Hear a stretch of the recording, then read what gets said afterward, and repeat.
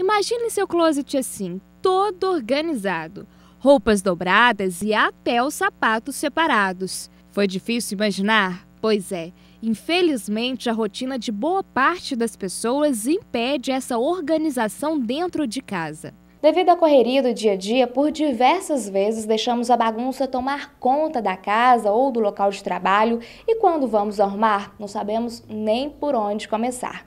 E aí surgem duas situações. Primeiro é que muitas pessoas desistem e deixam tudo como está. Mas aí vem o lado bom, é que essas pessoas podem sim se organizar através do personal organizer. Quando soube da existência deste novo profissional, Marliane não hesitou em contratar o serviço. O motivo foi a falta de tempo para deixar tudo em ordem.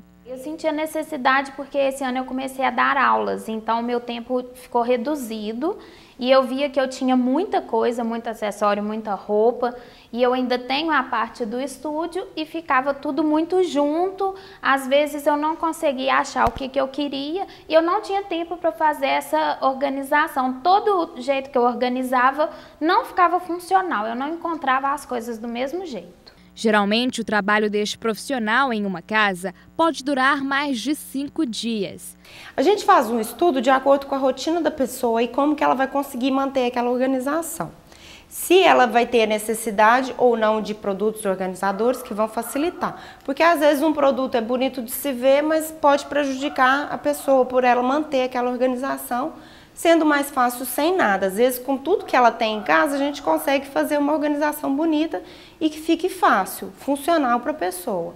Ou então não, a gente vai atrás de produtos organizadores que vai facilitar.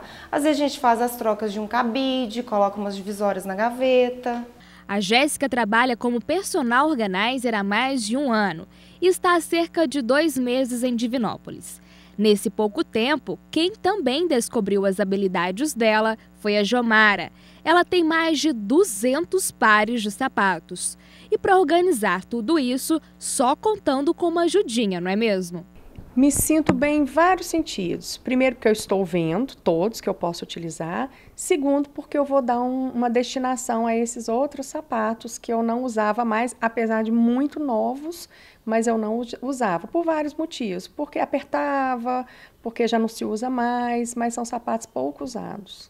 Missão cumprida, é hora de dar todas as dicas necessárias para o cliente. Tem que mostrar tudo para a pessoa, que ela tem que manter em casa, tudo bonitinho, para fazer tudo funcionar. Eu mostro as obras da roupa, o jeito que fica no cabide, as categorizações, os sapatos, os documentos são todos geralmente categorizados por pasta e anotado, para a pessoa não se perder também, porque depois que eu sair a pessoa tem que saber manter sem a minha ajuda. Segundo esta especialista, as pessoas devem ficar atentas para saber diferenciar o hábito de colecionar de uma patologia. Nós temos que diferenciar aquelas pessoas que guardam recordações daquelas pessoas que são acumuladores compulsivos.